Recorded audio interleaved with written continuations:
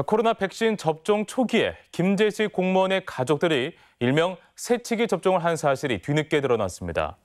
전라북도 감사에 따르면 김재 씨는 지난 4월부터 7월까지 75세 이상 노인이 대상인 화이자 백신을 시 공무원과 일반인 등 31명에게 접종한 것으로 확인됐습니다.